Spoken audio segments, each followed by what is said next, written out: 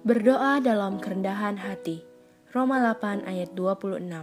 Demikian juga roh membantu kita dalam kelemahan kita.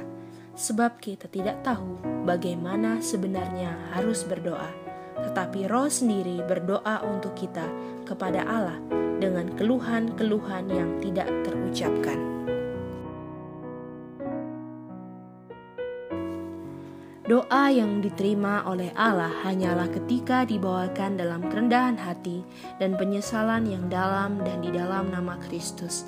Dia mendengar dan menjawab doa-doa, mengetahui mereka yang berdoa dengan kerendahan hati. Orang Kristen yang sejati tidak memohon apa-apa selain melalui nama Kristus dan tidak mengharapkan apa-apa selain melalui pengantaraannya. Mereka rindu agar Kristus dimuliakan oleh persembahan doa mereka dan rela menerima berkat Allah melalui Kristus. Roh Allah melakukan banyak hal untuk doa yang diterima. Dia melembutkan hati, dia menerangi pikiran, menyanggupkan untuk melihat keinginannya sendiri.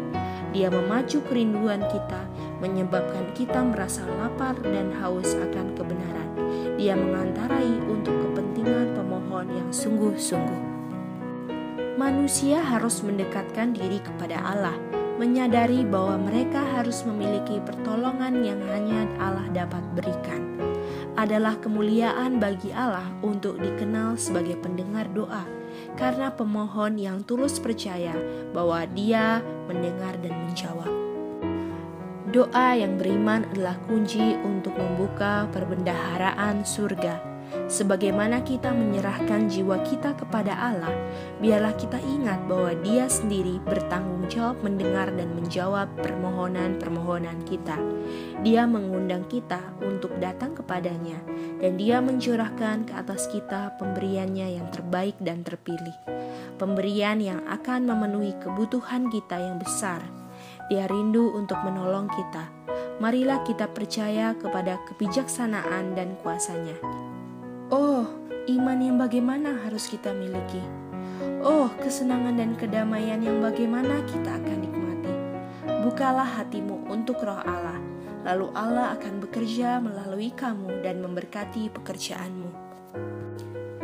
Tidakkah kita merendahkan diri di hadapan Allah untuk kepentingan mereka yang kelihatannya memiliki kehidupan kerohanian yang kerdil? Tidakkah kita memiliki jam-jam berdoa yang tetap buat? Tidakkah kita berdoa setiap hari untuk mereka yang kelihatannya akan mati dalam kesalahan dan dosa? Sebagaimana kita memohon kepada Allah untuk menghancurkan hati yang keras, hati kita sendiri akan semakin sensitif. Kita akan dipacu untuk melihat dosa kita sendiri. Manuskrip Releases volume 8 halaman 195 sampai 197.